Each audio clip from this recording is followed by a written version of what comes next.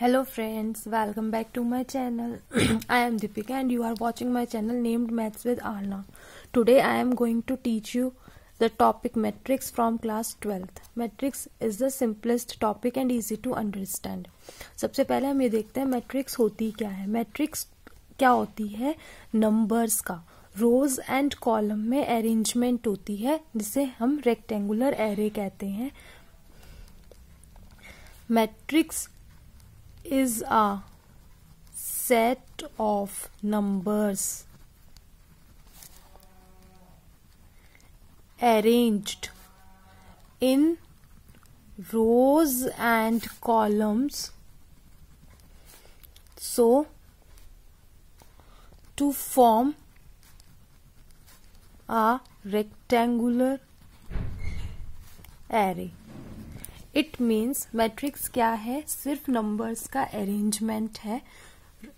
Rose and columns में उसे ही हम कहते हैं मैट्रिक्स या आप ये कह सकते हैं matrix is a rectangular representation of numbers and it is represented by capital letters and in these brackets. Or you can show in these brackets also but mainly हम ये वाला ब्रैकेट यूज़ करते हैं मैट्रिक्स के लिए।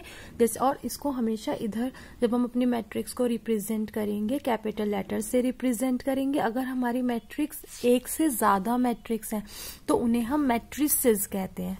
ठीक है plural form है मैट्रिक्स की। जैसे कि two three four five six seven eight nine ten ये क्या है? मैट्रिक्स है। ठीक है, अब ये मैट्रिक्स हो गई, ये इसको रिप्रेजेंट करने का तरीका हो गया नंबर्स को, ठीक है? हम इनको रोज एंड कॉलम में, अब जब हमारी जो होरिजोंटल है ये, ठीक है, ये ये हमारी होती है रोज जैसे कि ये वाली हमारी रो हो गई आर वन ये वाली हमारी रो हो गई आर टू ये वाली रो हो गई हमारी R three it means two five eight ये, है ना? ये हो गई R one three six nine ये हो गई हमारी R two and four seven ten ये हो गई हमारी आर थ्री अगर हम कॉलम की बात करेंगे तो जो वर्टिकल वर्टिकली लाइन्स है ये वाली, ये हमारी कॉलम होती है, ये वाली हो गई हमारी सी वन ये सी टू एंड ये सी थ्री ठीक है? ये वाली रो हो गई कॉलम वन ये वाली रो हो गई कॉलम टू और ये वाली रो हो गई कॉलम थ्री अब हम मान लो हमें क्या करना है? इस मैट्रिक्स का हमें इस मैट्रिक्स को हमने रो कह दिया। अब हमें इसका ना ऑर्डर बताना है। आप ऑर्डर कह सकते हो as well as you can say dimensions तो जैसे मेरी मैट्रिक्स थी, मेरे पास ए और मुझे इसका ऑर्डर देना है। Two five eight three six nine four seven ten ये मेरी मैट्रिक्स है और मुझे इसका ऑर्डर देना है। तो ऑर्डर हम यहाँ पे लिखते हैं। पहले हम नंबर ऑफ़ रोज काउंट करते हैं। और फिर हम नंबर ऑफ़ कॉलम्स काउंट करते हैं। और ये हमारा ऑर्डर होता है। हम कभी भी इनकी मल्टीप्लाई नहीं करते। हम सिर्फ़ और सिर्फ़ काउंट करते हैं और लिख देते हैं। या फिर हम इसको ऐसे भी कह सकते हैं। और हम इसको ऐसे भी कह सकते हैं एम मल्टीप्लाई एन ठीक है? एम क्या है? नंबर ऑफ़ रोज है। एन क्या है? नंबर ऑफ़ कॉलम्स है। तो इसका, इस मैट्रिक्स का ऑर्डर क्या होगा? ऑर्डर ऑफ़ मैट्रिक्स ए देखो कॉलम रोज कितनी है? वन टू थ्री तो थ्री इन टू कॉलम्स कितनी है? वन टू थ्री थ्री तो थ्री बाय थ्री क्या है? इसका ऑर्डर है। हम मल्टीप्लाई नहीं करते, सिर्फ़ ऐसे ही लिखते हैं। Order of matrix three by three ये इसका ऑर्डर है।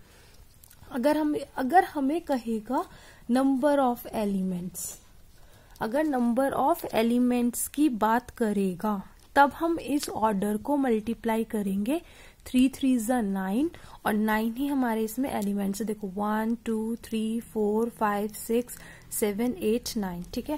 तो नंबर ऑफ़ एलिमेंट्स निकालने के लिए जो number of rows multiply number of column कर देते हैं नाइन वो हमारे नंबर ऑफ़ एलिमेंट्स होते हैं। ऑर्डर के लिए कभी भी मल्टीप्लाई नहीं करते। एक और एग्ज़ाम्पल ले लेते हैं। हमारे पास एक अदर मैट्रिक्स है B two four eight six nine seven three one अगर मुझे इसका ऑर्डर लिखना हो तो हम नंबर ऑफ़ रोज काउंट करेंगे टू है।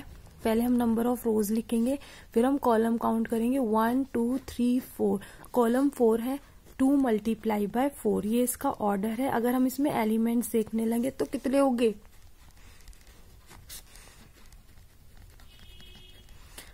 टू फोर ज़ा एट एट इसके अंदर एलिमेंट्स होंगे, one, two, three, four, five, six, seven, eight. Eight इसके अंदर क्या होंगे?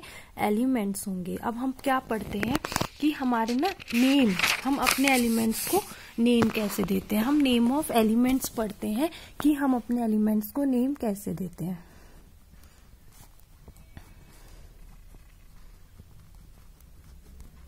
ठीक है हमने एलिमेंट्स को नेम कैसे देते हैं?